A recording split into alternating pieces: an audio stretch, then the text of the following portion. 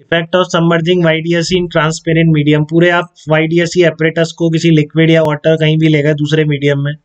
तो जहाँ पर भी आप एयर की वेवलेंथ यूज़ कर रहे थे, जो भी आपकी मैक्सिमा मिनिमा ये सब कंडीशन थी, पूरा एपरेटस जाना चाहिए बेटा। आधा अलग जाएगा मीडियम में, आधा अलग जाएगा, वैसे क्वेश्चन नहीं तो उनको डील करना, अपन को सीखना है नेक्स्ट लेक्चर वही कह रहा हूँ। ठीक है ना? बट मेन्स में कभी नहीं पूछे गए आज तक कि हम आधा मीडियम अलग कर दें, आधा कर दें बट एडवांस में ज़रूर पूछे गए, मैं कराऊँगा भी वैसे क्वेश्चन आप ठीक है? तो अभी तो मैं क्या कर रहा हूँ, पूरे इसको मैं, पूरे की पूरे ऑपरेटर्स को मैं किसी दूसरे मीडियम में डिप कर देता हूँ। ठीक है ना? पूरा ऑपरेटर्स मैंने किसी दूसरे मीडियम में ले गया तो क्या चेंज करना है आपको? सारी चीज़ें वही रहेंगी। ठीक है? बस लेमडा एयर किससे रिप्लेस हो जाएगा? लेमडा एम से रिप्लेस हो जाएगा। तो फ्रिंज ये कितना है? फ्रिंज विथ है आपकी। Lambda capital D upon small D beta dash कितना हो जाएगा? Lambda M capital D upon small D ठीक है? अब आपको म्यू की डेफिनेशन से मीडियम में वेवलेंथ लेमडा एम मीडियम की वेवलेंथ है। ठीक है तो आपको म्यू की डेफिनेशन से म्यू क्या होता है? वी एयर अपॉन वी होता है या उसको lambda air upon lambda M भी बोल सकते हैं? तो लेमडा एम की जगह क्या आ जाएगा? Lambda air upon one by mu आ जाएगा। तो इस लेमडा एम की जगह लेमडा एयर अपॉन म्यू रख दिया। तो ये क्या आ गई? पुरानी फ्रिंज विड्थ आ गई एयर में जो थी।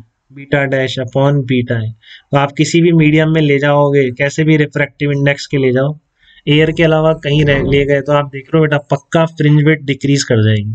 क्योंकि आपको पता है mu is always greater than one ठीक है ना?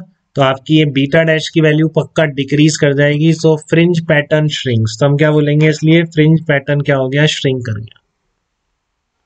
ठीक है? तो इसको कंस्ट्रक्शन ऑफ़ कॉन्ट्रैक्शन ऑफ़ वो बोलते हैं contraction of fringes in another medium तो फ्रिंज पैटर्न श्रिंक कर जाता है जब आप किसी दूसरे मीडियम में अगर ले गए।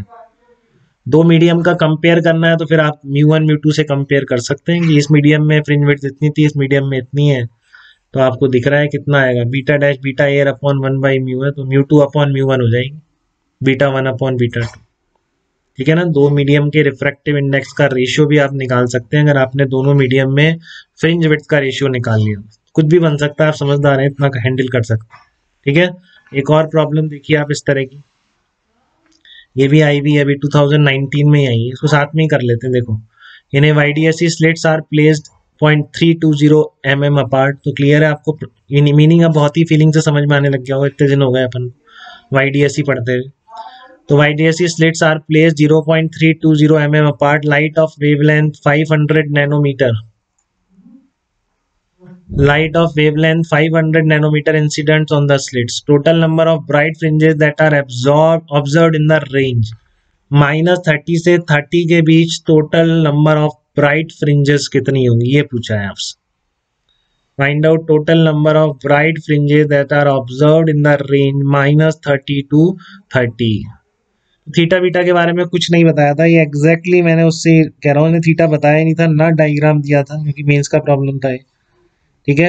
इसने मान लिया कि सब कुछ आपको आता ही होगा, थीटा क्या है, और ये कुछ नहीं लिखा था इसने। इतना ही प्रॉब्लम है, मैं सीधे पेपर से ही पढ़ रहा हूँ अभी ये प्रॉब्लम आपके लिए। ठीक है ना? तो ये आपका बिल्कुल इसी तरह का प्रॉब्लम आया था, लेकिन आप समझदार हैं इतने कि थीटा वही कह रहा होगा डी साइन थीटा में जो थीटा होता है। ठीक है? तो माइनस थर्टी से थर्टी के बीच नंबर ऑफ़ ब्राइट फ्रिंजेस कितनी होंगी? बहुत ही सिंपल सी बात है बेटा। थर्टी डिग्री पर देख लो एन की वैल्यू क्या आ रही है। उससे पहले की सारी एन से ज़ीरो के बीच होंगी माइनस थर्टी से ज़ीरो के बीच और उतनी माइनस थर्टी से ज़ीरो के बीच होंगी। जिसने कुछ और मेंशन नहीं किया है। हाँ रश्मि वेरी गुड बेटा। एग्जैक्ट बताया आपने बिना गलती के। ठीक है ना? तो गलती नहीं हो सकती। आप ये मान लीजिए बेटा, इस टॉपिक में अगर आप सीधा सारा सब सही समझ रहे हैं एडवांस में बन जाती है प्रॉब्लम थोड़ा सा कॉमन सेंस ज़रूर लगवाएगा। स्ट्रेट फॉरवर्ड तो एडवांस में देगा नहीं। और बहुत बेसिक लगाता है बार का ही देखना है। बहुत ही बेसिक बेसिक चीज़ें लगवाता है, बिल्कुल। ठीक है?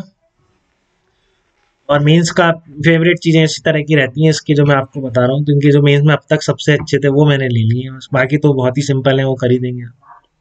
ठीक है तो आपने क्या किया? थर्टी डिग्री तो थर्टी डिग्री पर पार्ट डिफरेंस कितना होगा? डी साइन थर्टी हो जाएगा कि नहीं हो जाएगा? थर्टी डिग्री पे पार्ट ये बात समझ में आती है कि आपको? थीटा एंगल पे डी साइन थीटा होता है क्या बताओ इसमें?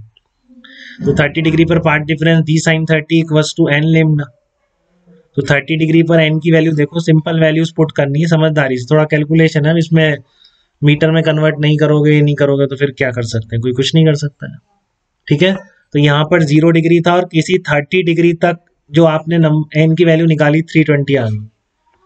तो थ्री ट्वेंटी तो अप हो जाएँगी और थ्री ट्वेंटी नीचे की तरफ़ हो जाएँगी। समझ में आ रही बेटा आपको क्या लिखा है मैंने? थ्री ट्वेंटी तो अप हो गई। एग्जैक्टली थर्टी पर थ्री ट्वेंटी है। ठीक है ना? तो आपने थ्री ट्वेंटी अप हो गई थ्री ट्वेंटी डाउन हो गई सारी। माइनस थर्टी देखो इक्वल टू लगाया यहाँ पे ध्यान से देखिए, अब इक्वल टू लगा रखा है तो थर्टी वाली भी इंक्लूड करनी है आपको उसका। ठीक है ना? तो इसलिए 320 ऊपर 320 नीचे, और रश्मि ने गलती नहीं करी, कई बार ये रह जाती है, फिर क्योंकि 640 टिक हो जाता है डायरेक्टली बट तो रश्मि ने बहुत समझदारी से इसको इंक्लूड करते हुए आंसर बी ही बताया डी नहीं बताया ठीक है थर्टी टू आप thirty two down plus one central bright fringe तो आंसर कितना आ गया? बी आ गया ठीक है? किसी को दिक्कत, बेटा, इस प्रॉब्लम में थोड़ी भी इस तरह की हैंडलिंग में वाई डी